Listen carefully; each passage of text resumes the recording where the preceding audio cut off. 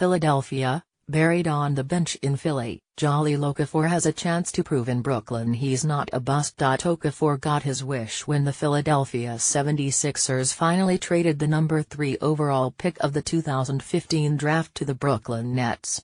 The deal ends the stalemate that had kept Okafor on the bench for all but two games this season.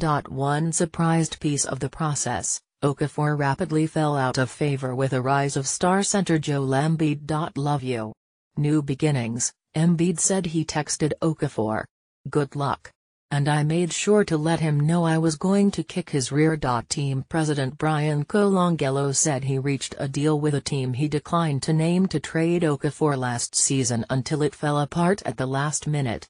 That led to an awkward situation where Okafor didn't even travel with the team during the trade deadline. Okafor led the Sixers in scoring as a rookie with Embiid out with injuries.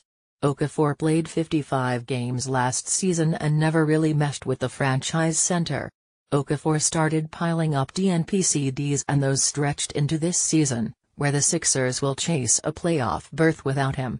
He can go play basketball again, Coach Brett Brown said. The Sixers also sent seldom used guard Nik Stauskas, the number 8 overall pick in the 2014 draft, and a 2019 seconds round pick to the Nets for forward Trevor Booker.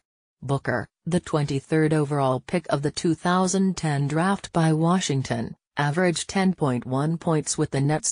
There is a level of toughness and versatility that interests me, Brown said. He's shown that he can play, handle not play and be good people and handle himself like a pro.